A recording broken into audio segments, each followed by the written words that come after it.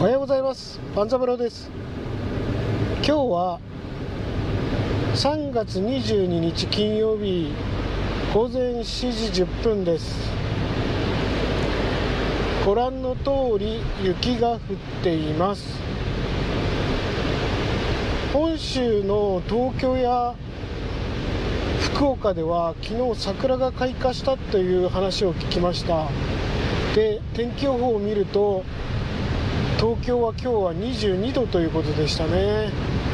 ちなみに今の外の気温は2度です。今日の最高気温は3度の予想なんでまた冬に逆戻りって感じですかね。積もりました。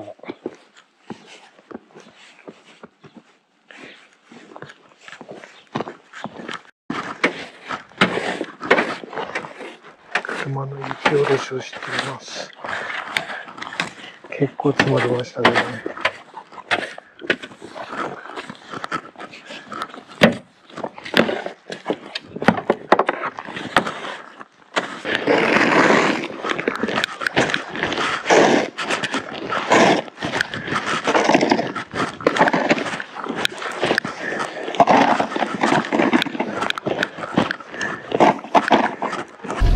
3月22日土曜日午前8時30分です。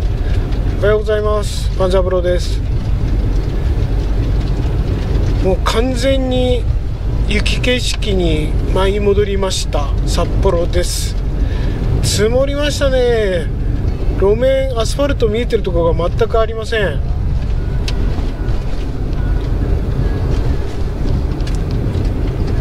昨日までは完全に路面出てたんですけど一夜にしてこの状態になりました。